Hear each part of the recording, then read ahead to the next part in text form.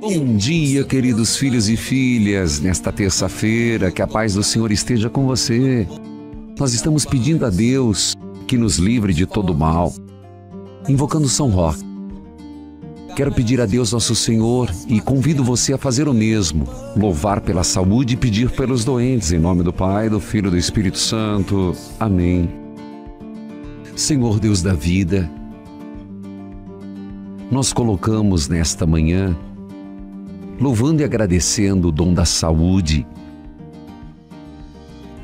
e pedindo por todos os nossos irmãos enfermos. Senhor, no início deste dia nos fazemos intercessores por aqueles que despertam adoentados, fragilizados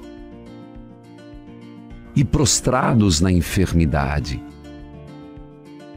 Senhor Deus da vida, esteja ao lado do leito daqueles que sofrem. Seja a esperança daqueles que estão acamados e aqueles, Senhor, que estão em tratamento de uma doença grave. Protegei-os, consolai-os. No início deste dia, Senhor, rezamos pelos que cuidam dos enfermos, os cuidadores que tenham paciência, zelo e carinho, e invocamos São Roque, pedindo que ele, junto a vós, interceda por nós. São Roque, vós que não tivestes medo de se dedicar de corpo e alma aos cuidados dos doentes, pedimos: olhai pelos que sofrem.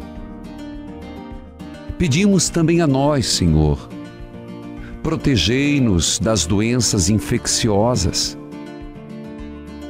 Livrai-nos, Senhor, de toda enfermidade do corpo e da alma por intercessão de São Roque.